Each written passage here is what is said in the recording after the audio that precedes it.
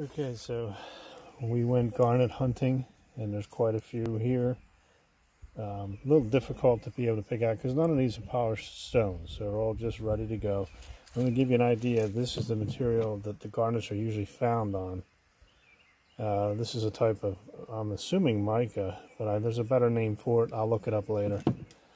These garnets here, basically, you can see the shapes. You see the reflection. These are obviously all unpolished.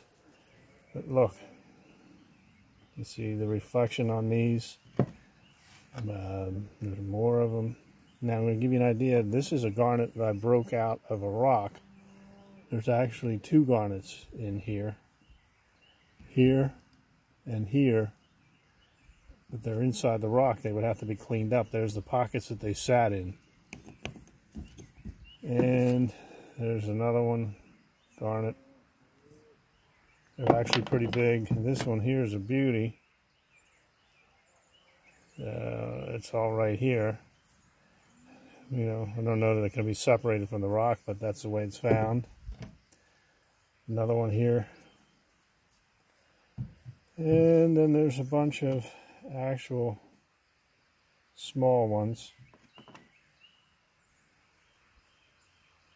Uh, you can see in general, that's what the garnets are.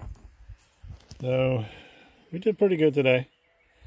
Four hours, onwards and upwards.